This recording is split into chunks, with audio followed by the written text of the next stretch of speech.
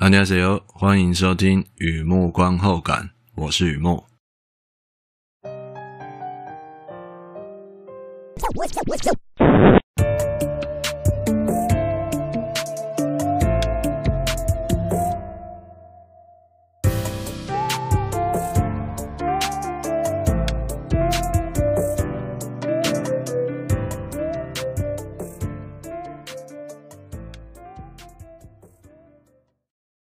没错，今天要讲韩国电影啊。今天这是韩国电影看片的心得啊。Kingmaker，二零二一年的韩国电影啊，《王者制造：选战之湖》一部电影啊，不是两部啊，《王者制造》副标题《选战之湖》哎是这样。聚散离合绕四方，不多不少，就这样。横啤酒，《王者制造》和以前一样，先来讲一下这部片在在演什么。这是一部韩国政治惊悚电影。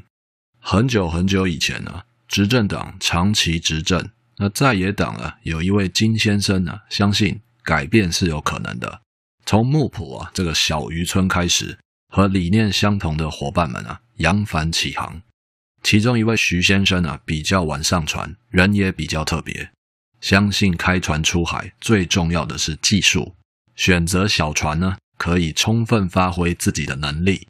听起来这位徐先生啊，类似王佐之才哦，很懂很会啊。而他也确实做出了成绩啊，协助金先生在艰困选区胜选，佩戴闪亮徽章啊进入国会殿堂。还有后来角逐总统候选人，同样是协助金先生在党内初选脱颖而出。然而啊，强力聚光灯深化了黑影，拉长了身影，幕后的功劳与苦劳与疲劳，驱使了徐先生在这个时候表态啊，他不甘心，就在总统大选前夕啊，他做了别的决定。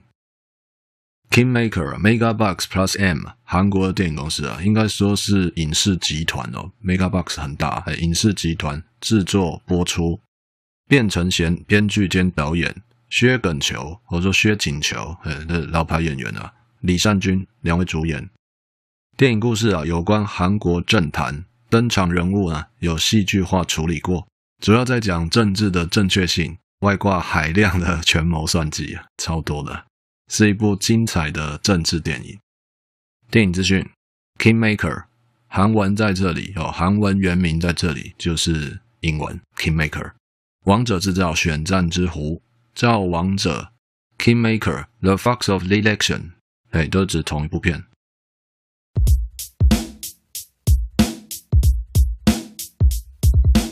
第二个部分，第二个阶段，一如往常的写下一些随笔哦，雨幕观后感嘛。看这部片让我想到哪些东西，带给我什么样的感触哦？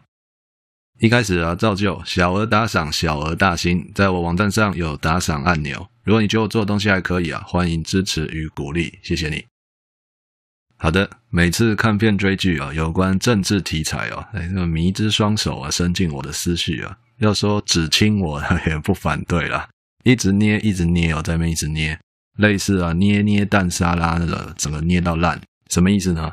代表我看政治片的心得非常的丰满，但心得的形状啊，不是很好看就对了。那先来分享我的宇宙观啊，看片追剧有所感应啊，影剧本身好看是原因嘛？那自己当时的状态呃也很有关系，比方说刚吃完蜜糖波提。接着不管吃什么东西都美低，哎，行不行呢？那么我在看这部片的时候呢，自己的状态有点闹啊，我当时的状态有点闹啊。然后我就看到演员有那个朴仁焕，朴仁焕在这里应该是我没记错的话，他演在野党主席啊，在野党主席老人家啊。而那个闹，我本来心里面那个闹就开始越来越奔放哦，看到他就奔放了。因为我上一次看到朴仁焕演戏啊，是韩剧那个人间失格啊。女儿是全道演，以前叫全度妍。那朴仁焕演爸爸，每天在街上呃捡纸箱做资源回收了，不小心在路边睡着啊，醒来还发现身边有几块铜板啊，这是他的人生啊。那个是朴仁焕。那镜头拉回来哦，他在这里演新民党魁嘛，政界大佬，完全不一样的人生，那里是完全不一样的人设哦。可是我忍不住想象他在另一个次元继续捡纸箱啊，捡资源回收哦。就是自己闹自己的啊，有时候看片追剧哦，就是会这样。哎，他之前演那个，哎，怎么在这里又，呃，就那种感觉啊。那么还有一个演员也让我停不下来哦，他是赵宇正啊。赵宇正 也是常出现在韩国电影里面啊，通常啊，通常的饰演比较心机的人物，哎，演心机男呢，你知道吗？赵宇正在另一个宇宙里，另一个次元里啊，他的名字叫何文辉啊，别号酱爆哎，就是他 长得长蛮像的，从来没有放弃成为一个伟大剧作家的梦想，那继续在田在新馒头店门口唱歌跳舞啊。换句话说，我看这部韩国政治片的时候，真的很难想象赵宇正是在大人物手底下一边造桥铺路，那一边唱歌跳舞啊，我已经错乱了。不过错乱归错乱哦，哦，这一切啊，并不代表我看这部片看到昏迷啊，昏昏迷不醒那样，没有。所以啊，要说看完这部韩国政治片有什么样的心得啊？别以为我刚才是鬼扯瞎扯哦，我的心得啊，已经讲完了。对了，我知道不行那样了，不能那样赖皮哦。看政治片还是要聊聊故事嘛，就就这样赖皮带过去哦。聊聊故事，聊聊那一些算计与攻心呢。容我简单介绍一下《Kingmaker》这部韩国电影，有关王与王佐的关系，谋士如何让他的主公越来越强大。那对我个人来说啊，这部片最精彩的情节是在野党党内初选，哎，那个戏非常的精彩，孤注一掷，猪羊变色哦，确实好看，好到哦，不太像虚构故事哦。电影里这位徐先生啊，这位影子谋士啊，有贼心也有贼胆啊。而且胆大心细啊，如何阴阳李先生啊，如何吸纳游离票啊，他的手段呢有很强的赌性，哎，很强的赌性。我就想到啊，以前有一位慈祥的老人，还教我玩扑克牌，大概是这样说的：哦：自己手上有什么牌，没什么大不了的，要让对方觉得对方手中的牌是非常了不起的。举个例子哦，假设对方有三张老 K。而且相信啊，这三张老 K 会是这一局里面最大的牌，那就让他继续这样相信，深信不疑，代表他不会拆牌，也不会变卦。嘿，我还记得老前辈是这样跟我说的：不用太在意自己手里的牌是不是最大的，只要让对方一直觉得他手里的牌是最大的，一切就好办很多。那么回过头来看呢，镜头拉回来，徐先生在这部片里面如何吸纳游离票？因为他是要保他的主公能够党内初选胜选嘛，那自然就会有一些中间选民啊，一些游离票啊，是徐先生需要多花心思的嘛。那么一般遇到这样的情况，会直接想到利诱啊、哄骗啊之类的，让他们妥协或认输啊，转而支持我方。但你也是知道的嘛，威胁力有连哄带骗啊，那样起不了太大作用。哎，有作用，但不是太大，因为其他势力也会用一样的方式来做，也是用同样的方式吸纳游离票嘛。哎，所以电影里的徐先生啊，不仅引诱，还让游离票继续相信他们原本相信的东西。而他原本手上有什么牌，觉得很大，就让他们继续那样觉得。那么，如果你刚好看过这部片哦，电影里的李先生啊。之所以左右摇摆，因为他相信的东西叫利益交换，越多越好，多多益善呢。过程可以鸡飞狗跳的，结果绝对不能鸡飞蛋打。那么徐先生在交涉之前就已经看穿这些东西了，尤其拿捏了黄金比例啊，力到大约四成用在兜售好处，六成用在贩卖怀疑。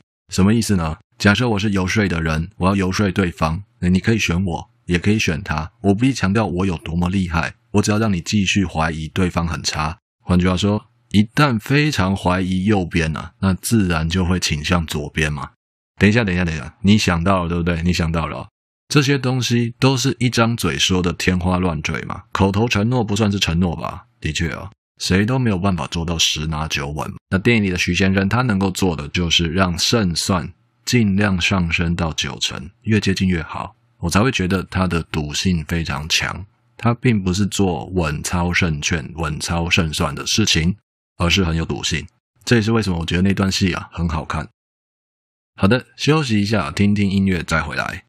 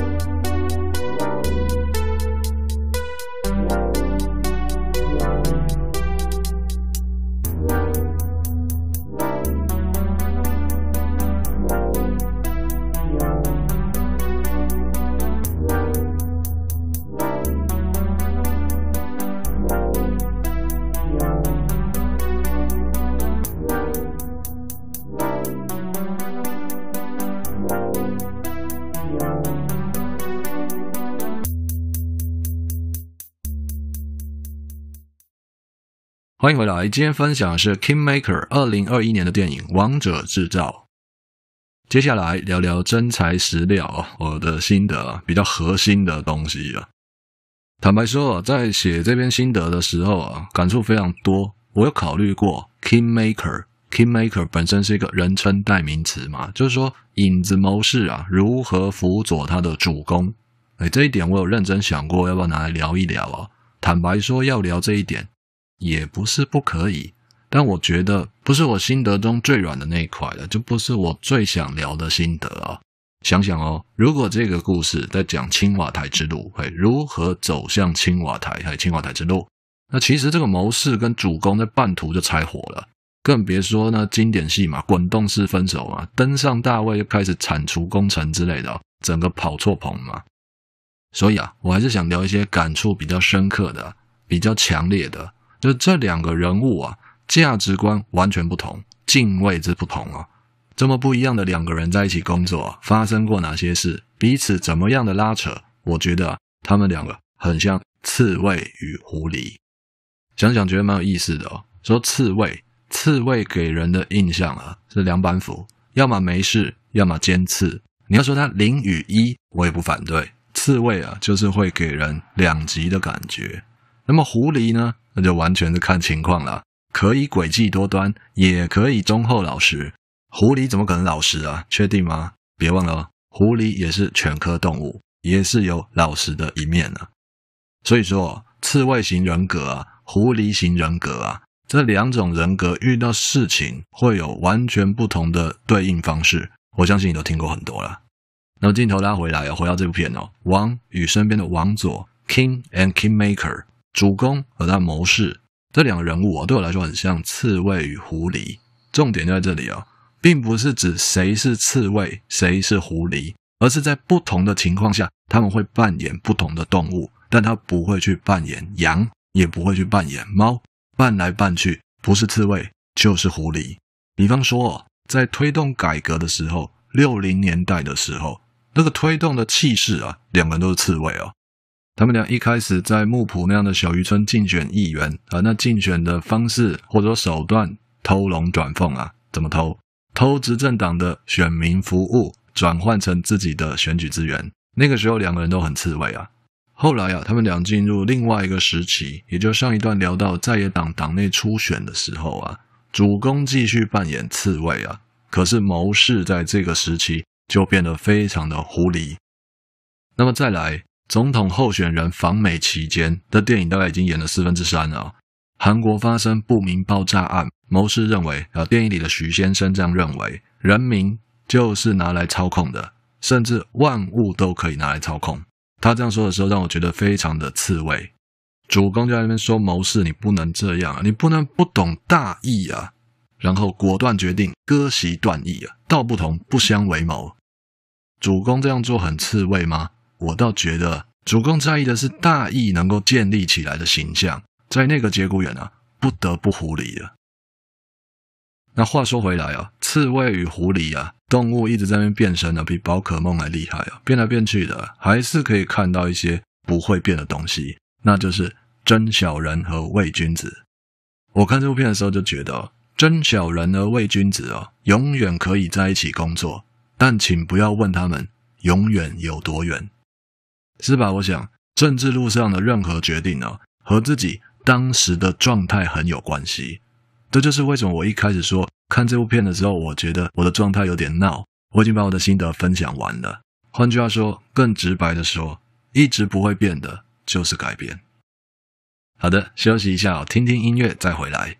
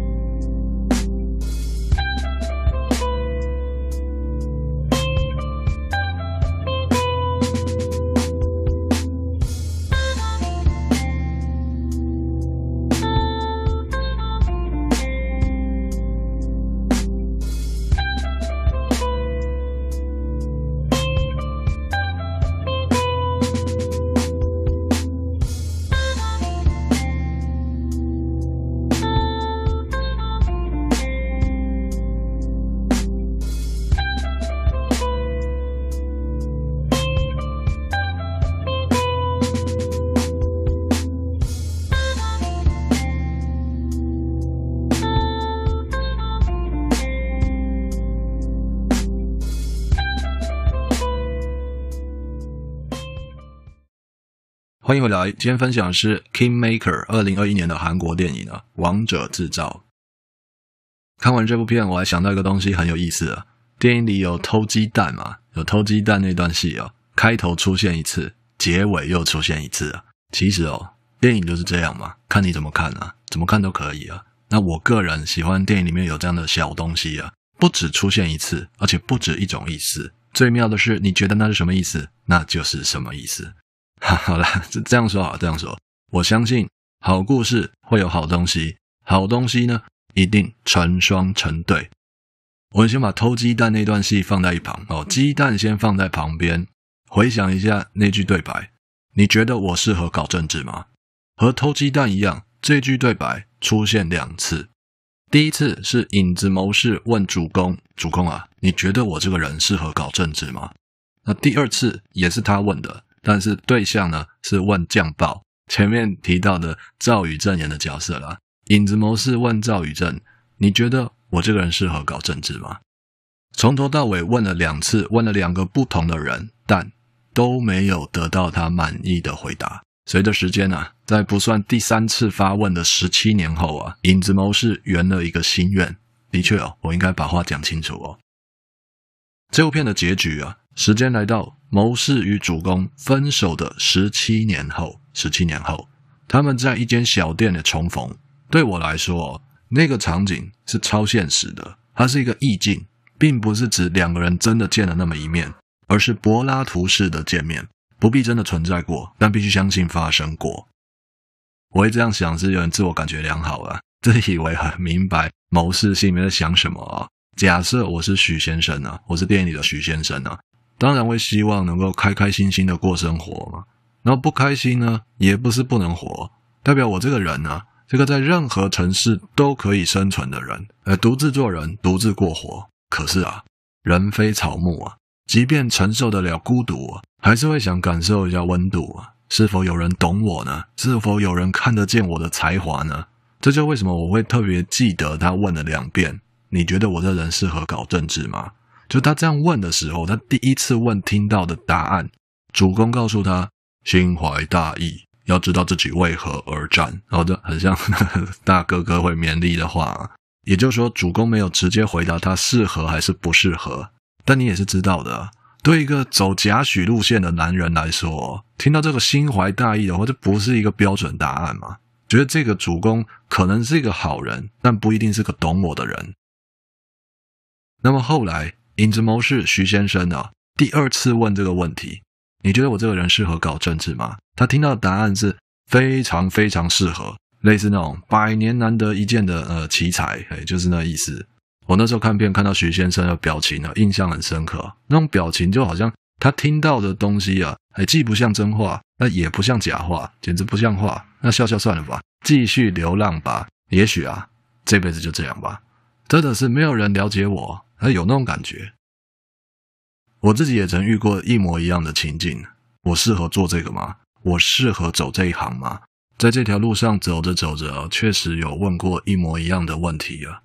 与其说在问对方啊，更多的是问自己啊：世界上有没有人了解我？所以十七年后啊，也就电影在我心中啊，徐先生圆了他自己一个心愿，始终觉得金先生是最有可能了解自己的人。不过最后一次见面呢，他换了一个话题，想知道金先生如果话说从前会怎么样处理偷鸡蛋那个事情呢？那金先生还是跟以前一样回答嘛，说那些要小以大义之类的方法啊。可是大义不管用的时候，金先生说他会请教徐先生该怎么办。我想是吧？人跟人在一起啊，彼此可以非常不一样，只希望聚散离合绕四方，不多不少。就这样。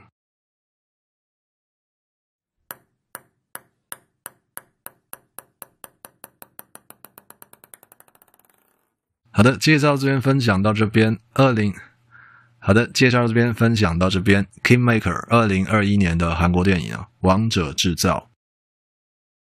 今天分享了不少东西啊。坦白说，看政治电影就是这样啊。分享很多啊，但是大部分都讲的不清不楚，不知道在讲什么。我也不知道为什么看到政治电影的心得，我就嗯，很难把它说的很清楚啊，这是一个感觉。而且我本来写心得就蛮感觉的，所以写到政治题材的时候，尽量啊，尽量去描述它。如果你有看这部片的话，或者说如果你有兴趣看这部片的话，主角金先生是没错，但我个人觉得徐先生在这里比较有戏，比较精彩，尤其是他心情上的转折。同一个问题问了两次，对心情上的转折这些，我觉得这些都是非常精彩、非常好看的。好的，文章就在网站上，欢迎浏览，也欢迎上网搜寻《雨幕观后感》《雨幕散文故事》，两个都可以搜寻得到。今天呢，先到这里了，祝你顺心平安、健康平安，谢谢。